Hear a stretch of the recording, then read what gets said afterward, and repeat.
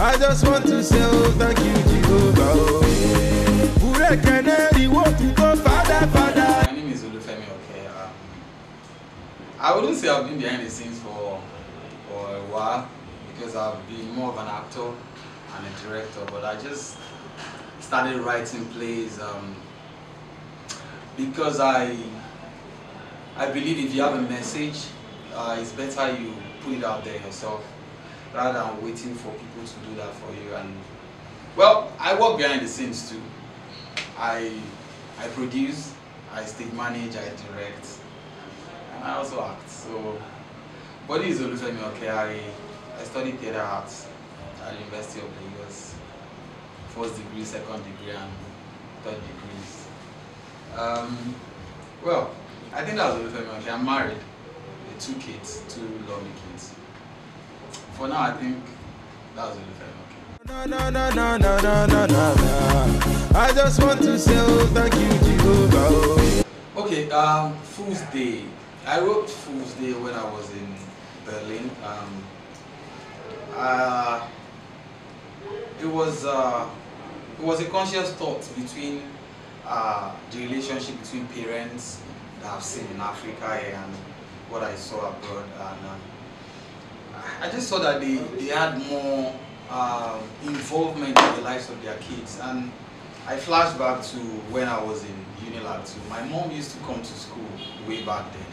She would bring food and stuff for me. And at the point I had to tell her to stop coming because other parents were not coming and I felt I'm not a small boy, you don't have to check. But she was actually doing the right thing, you know. Uh, most times parents just uh, they go to work, they come back, they make sure their kids have everything, food, clothes, whatever they want. But I just discovered that kids need more than that. And um, most times people get scared uh, eventually how their kids go to learn some things. But you've left your kids to the house to the gate man, and other people like that. So at a point, uh, when I now saw some other part of family life in Berlin, I just got inspired that day. It was around 6 p.m. and I just put pen to, uh, to paper and I just go to my laptop and I started writing. I didn't have the title in mind at first. Um, I decided to make it comedy because um, the situation of the country is terrible enough so I felt people might not want to see tragedy. So I decided to make a comedy and the title Fool's Day came up and uh, from some of the reviews I've got I think uh, it's a play that uh, families need to watch together because of the kind of values and messages we have in the play. I just want to say oh thank you Jehovah. It's just the relationship between parents I, I, think we all have parents or we all have kids. So I wouldn't say Fool's Day is about me. It just I just got inspired based on family relationships that I saw in Berlin and the ones I've seen here. And the fact that I remembered how my mom used to come to check me in school. And the fact that some parents don't even know their kids' schools. I think, I, I know some people might be saying that's a lie, but it's just the truth. Some people don't know the schools their children are till they graduate. And I don't think that's fair because at the end of the day, peer pressure and every other thing uh, come into play. And basically, if, if you're looking at the part of my life and the play, I'm not sure it's up to 10%. I'm not sure it's up to that. I'm just inspired by my society and and that's that's how we got Day. Yeah.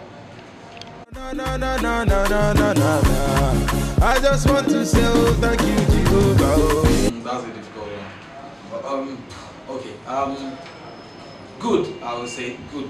Um, with my mom, it was good all through. She never beat us at all. Uh, but I think with my dad, it was a little bit complicated because um, I think I was a little bit stubborn.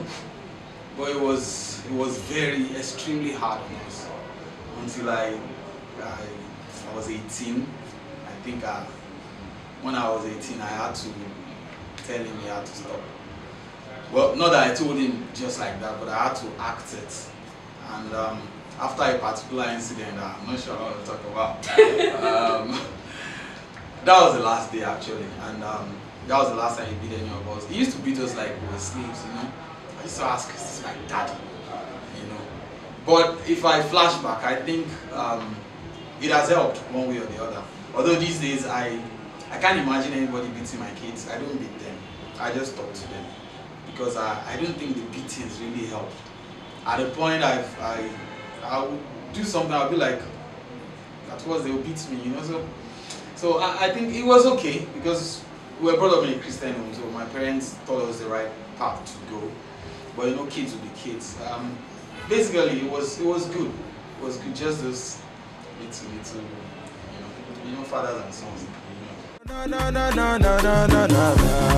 I just want to say oh thank you Jehovah. For every playwright, um, your joy is when people react constructively to your plays. And um, I got I got some messages after it was staged some time ago. Somebody actually sent a mail to the director of the play and said the play was exactly what was happening in their family and she had to go to her son's Facebook page to check and that was when she discovered her son actually hated her. You know, she sent in the message that things are going better now in their family and it was just because of that play. They all came as a family to see the play and the second person, the same thing, said it was they they didn't even know uh, the kind of people uh, their children were moving with. And after seeing fools, they they actually sent mails back. And for me, that's that's the height of uh, fulfillment. Money cannot buy that. And that, that was the intention for Fool's Day. It's a very special play for me.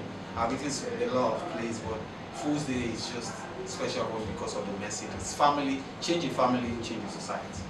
No, no, no, no, no, no, no, no. I just want to say oh, thank you, Jehovah. Oh. Um, a lot, a lot, a lot, I, I must confess. Um, like one of my friends would say, he's a writer to uh, to. He says, um, if we had the kind of environment they have, we would do better. Because um, I was at I was at the park, and then it just came, and I left. There was light all through. I didn't have to put on the generator. Um, I I wrote from 6 p.m. to 6 a.m. I didn't stop. I just had yogurt by my side and I was just writing 6 p.m. to 6 a.m. So you have a conducive environment, the economy is not too bad. Um, you have materials at your beck and call. Your research is easier.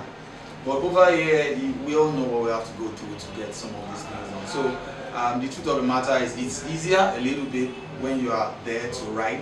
You get more inspiration. Here we have to look for inspiration most times. I, I, won't tell you what I've done to search for inspiration when I write some plays. eh. I do some things I can't say, but I have to search for it. Whatever the inspiration will always come because of the kind of environment you are. But that's not to take away from us here. The truth of the matter is that for us to do what we are doing with what we have, if we had what they have, we'll do it a lot better. Na na na na na na na no. I just want to say oh, thank you, Jehovah. Lagosians, I'm told to remind you that um, Fool's Day will be coming up on the 16th, 23rd, 24th, 25th, 30th of December at Ace Olivia Hall, Onikan, Lagos. Um, I'm sure you don't want to miss it, uh, especially because of what we've talked about. You, and you need to come with your family. Let's see what Fool's Day can do to make Nigeria a better place. I just want to say oh thank you